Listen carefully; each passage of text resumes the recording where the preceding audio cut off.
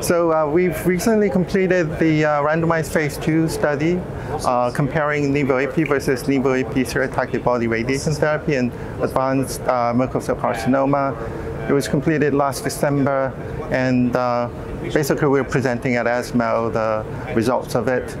So the study was designed to uh, test two things. One would be to uh, see if CTLA-4 blockade can improve upon the current standard of care, which is uh, uh single-agent PD-1 blockade. And the second question is if the immunogenic effects of stereotactic body radiation therapy could further improve cancer immunotherapy. So we enrolled 50 patients into two arms.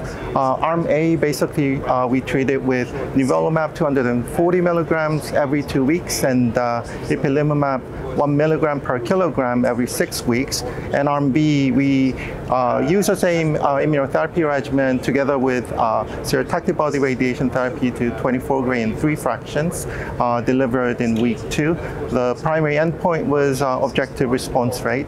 And the outcome has been excellent. Uh, when you look at the patients who have never been treated with any systemic therapy, we had 22 out of 22 patients responding, either achieving complete responses or partial responses. 41% uh, of those patients actually uh, achieved complete responses.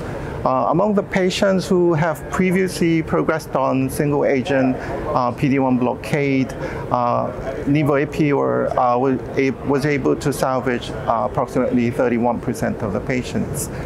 In terms of the toxicity profiles, we observed um, grade three or four toxicities approximately in 36% of the patients, which is quite close to what was observed with randomized phase three studies in non-small cell lung cancer and mesothelioma. Um, and basically it was quite well tolerated. So overall, uh, we observed an outstanding response rate in both first line setting and salvage setting with manageable, manageable toxicity profiles. So we think um, nivo-ipi could be considered as uh, a therapeutic options in these uh, clinical settings.